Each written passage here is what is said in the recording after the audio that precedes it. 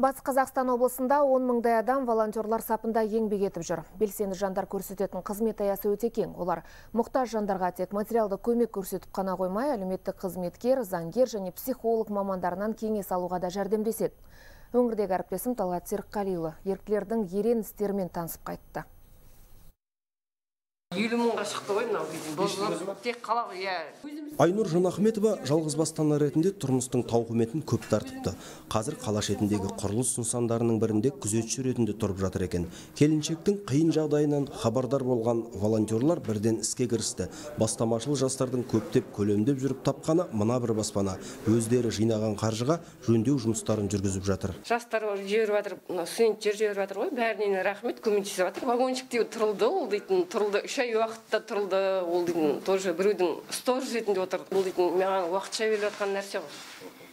Уақытша беріледі. Содан бір екі үш турсында кезегі келгенде үй кезегінде тұрмын. Жалғыз басты ана ретінде. Новый үй алыңыз деп деп тұр ғой. Новый үйге шығамын ғой сол ремонттап келесі кісіге енді тап таза қылып тапсырып кетемін. Әзірге газ тартылмаған пәтер пешпен жылиды. Жөндеу жұмыстары біткен соң келіншек бір баласымен осы үйге көшіп келмек. Волонтерлар өз жұмыстарын тыңғылықты атқаруға тырысады. Солардың бірі мөлдір есімді бойжеткен ізгілік істердің жалғасын тауып қатарлары көбейе түсеріне сенімді. Мен отты бірінші рет бүгін жақтым. Ә, жақсы екен былай мен ойладым. Осы уақытта қиын шығар деп. А былай қарағанда ондай қиын қиын шаруа емес екен. Біздің ауылда көбі от жағады газ да бар. Бірақ мен өз басым отты жағып көрген жоқпын. Бүгін бірінші рет жақтым отты.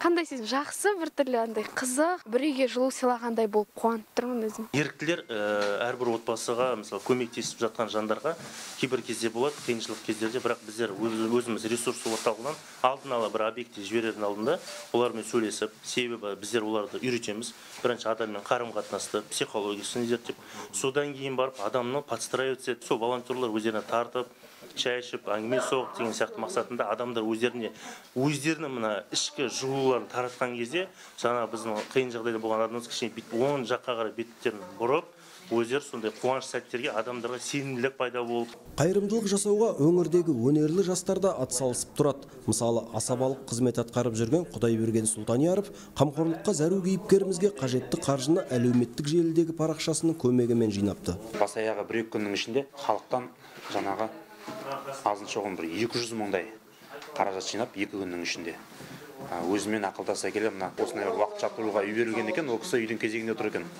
Соның ремонтына кірісіп кеттік. Бұндай игі істер кеңінен жасалып жатыр қазіргі таңда. Мынау нұрбек дейтін бауырымыз астана қаласында бір көпбалалы анаға жер төлеуде тұрып отырған жаңағы несиесін жауып беріп иә асаба. Тоже асабалардың ортасында үй алып беремін деп ұмтылып жатыр. Волонтерлар жылына орай жоспарланған жұмыстар баршылық қариялар үйінде жиі болып тұратын жастар жуырда балалар ауылына шанамен сырғанауға арналған төбешік тұрғызды. Ерікті болу еріккеннің ісі емес. Өз қызметімізді шын ниетпен ыстық ықыласпен атқаруға тырысамыз.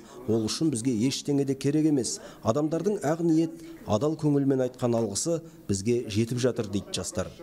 Талғат серікқалиұлы болат жарылғасов қанат махмұтов орал хабар 24